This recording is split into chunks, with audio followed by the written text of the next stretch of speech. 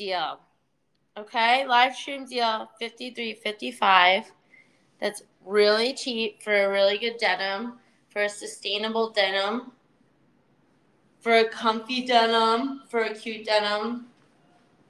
And okay, so I got a size 26.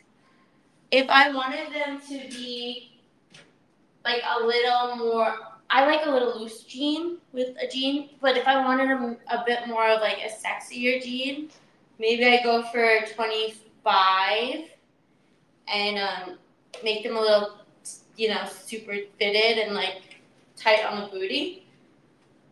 But obviously, I like a little kind of more chill pant for the summer. Um, so semi running to size. 26 is usually my thing. So yeah, they're right on point pretty much. Um,